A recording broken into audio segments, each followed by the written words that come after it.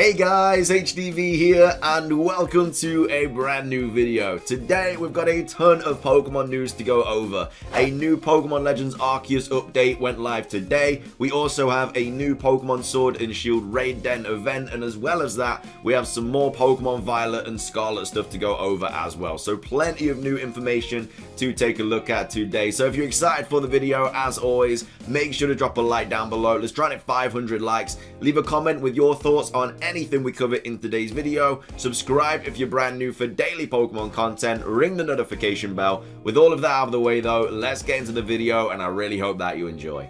So, starting things off, let's take a look at this new update patch for Pokemon Legends Arceus. So this came out of nowhere, it was completely shadow dropped, there was no hint towards it, there was no previous information about it.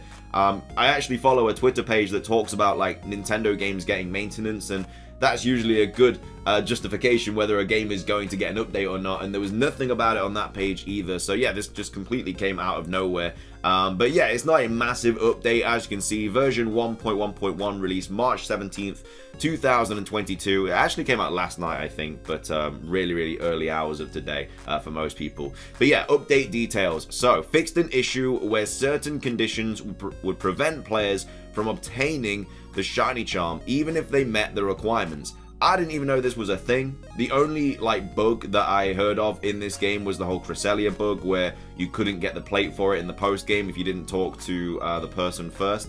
Um, but obviously that got patched in the last update. Didn't even know there was a problem obtaining the shiny charm. I've not heard anybody having a problem obtaining the shiny charm. They then went on to say after updating the game, players who experienced this issue can obtain the Shiny Charm by speaking with Professor Laventon inside Galaxy Hall in Jubilife Village provided they meet the requirements. So obviously to get the Shiny Charm in Pokemon Legends Arceus you have to have got completed information on every single Pokemon. Not perfect information, just completed so that the little Pokeball pops up um, on the Pokedex page for that Pokemon. So yeah, that's all the update really is. Again, there's probably like minor bug fixes as well and more pleasant gameplay stuff. They usually drop those in these kind of updates. But yeah, nothing about Pokemon Home, uh, nothing about any potential future DLC. Obviously with new updates, they usually get data mined as well to see if there's any more information in there. Um, but yeah, this wasn't a massive update at all. Like I said, there was no hints prior to this dropping, so it's not big at all. But um, yeah, if you are experiencing any kind of issues getting the shiny charm previously,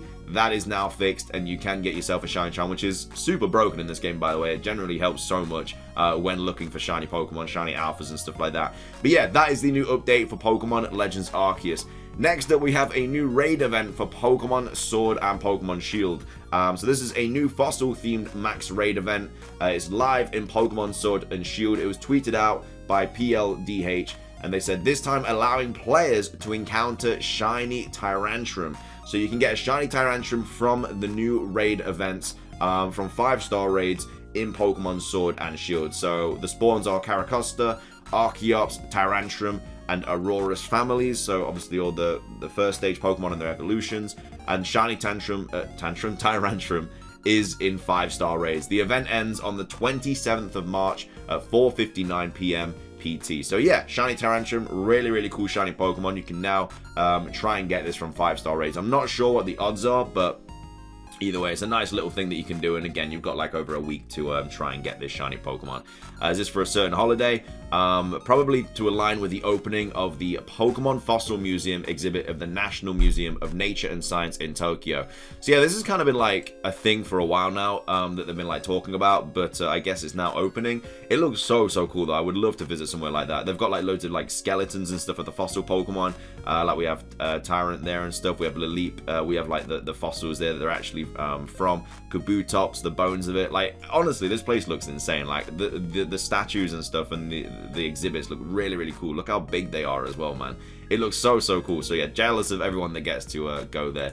The next thing we're going to be talking about, though, is Pokemon Scarlet and Violet. And it's more about this um, kind of potential Fuecoco evolution that I went over in yesterday's video.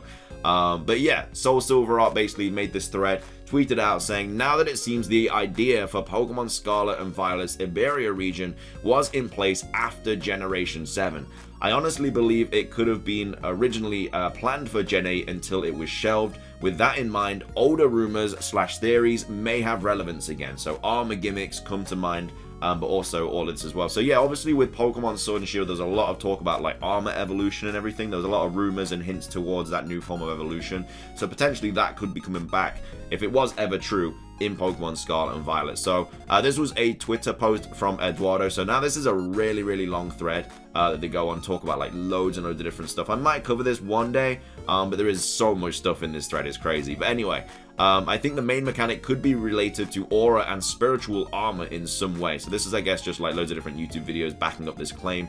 Uh, but yeah, here we have all the different like kind of layers and everything. So you got the Ketheric template, the Celestial layer, uh, which is obviously a spiritual body. Uh, then you have the astral layer, the mental layer, and stuff. So potentially it could be something to do with that. You know, um, this this new gimmick in Pokemon Scarlet and Pokemon Violet.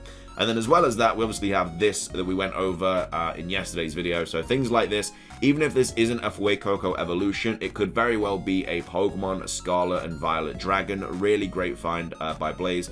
So again, this is potentially the third evolution of Fuecoco. Uh, I mean, potentially. It is I mean, it's unlikely, but um, it could even just be a new Pokemon. Um, but as well as that, I mean, again, this is just, I guess, clutching at straws, but I feel like it's a little bit too much of a coincidence um, to, to just be like a random silhouette thing. So yeah, update to this. According to Serebii, apparently the episode that this image is from is episode 999, the Japanese number of the Sun and Moon anime. So Gen 9 the episode anime number is 999. You know, it has this potential Fuecoco evolution. I I don't know. It's one of those things, man. It's like it could just be a massive coincidence, or they could just be planning these things for like years and years in advance. But um, yeah, the fact that it's um, number 999 is a bit interesting. And then they also go on to say Dynamax is right in the Galar region, Gen 9 is Spain, also right. Regions in the US, Paris, Hawaii, and the UK have been known to exist since 1997. What I find strange, however, is that Hawaii came before the UK. This is probably due to Pokemon Go, as Go is Australia. Their story is too difficult to explain. I simply need an explanation. Yeah, it's very in depth. Uh, Game Freak is going to uh, going in the intended order. There was no delay in anything. Stat boosting and auras are a more likely mechanic. See some of the tweets I um, added onto the later thread. So that's what Eduardo is obviously talking about. Um, this kind of tweet here, but Again, that could be something. I don't know. I just think this is quite funny that it's got this silhouette mon and it's episode 999. Uh, next up, we're going to finish off by talking about this. So, this was posted 17 days ago. I'm only just getting around to it now by Pokemon Brain Rot and they posted evidence supporting Pokemon Legends Arceus catching mechanics in Pokemon Scarlet and Violet. So obviously this would be really, really cool to see in the game. Um, it is a, a, new evolution of Pokemon catching in Legends Arceus. Really, really cool um, situation, really cool idea.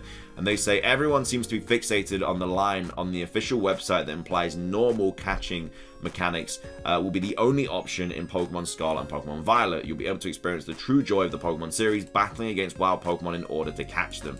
Now in an open world game that players of any age can enjoy. Obviously this sounds disappointing when you consider how easy and seamless it was to capture Pokemon in Legends Arceus.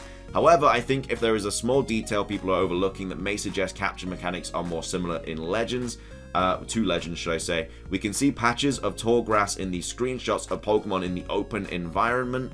Tall grass was used to preserve traditional random encounters in Pokemon Sword and Shield, but in Legends Arceus they are used to hide and sneak up on wild Pokemon.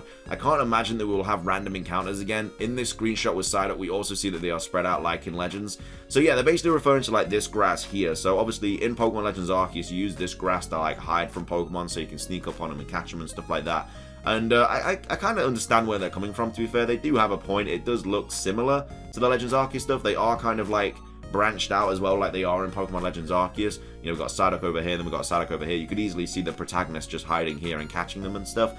So, so considering how much of this game is already based on Legends, I think it is safe to say that these patches of grass, or at the very least, will be used for sneaking around overworld Pokemon encounters. They could hint at Legends Arceus capturing mechanics.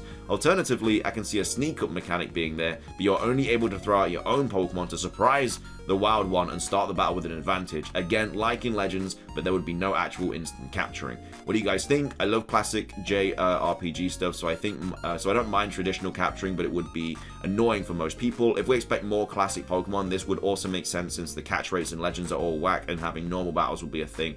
Uh, would be bringing them back to what they were. I think this is much more likely having this sneak up mechanic where if you um, throw your Pokemon at the uh, the wild Pokemon or whatever, you get like I don't know, um, some sort of booster, or you always get to attack first, or something like that. Um, but the fact that the game is open world, I, I really hope that they do just kind of bring all the Legends Arceus stuff where it's just like not any cutscenes, you know, it's no, it's no like battle transitions or anything like that. It's just constantly quick fire. Because open world, you just constantly want to be exploring and stuff and catching stuff. That's why Legends Arceus is so successful.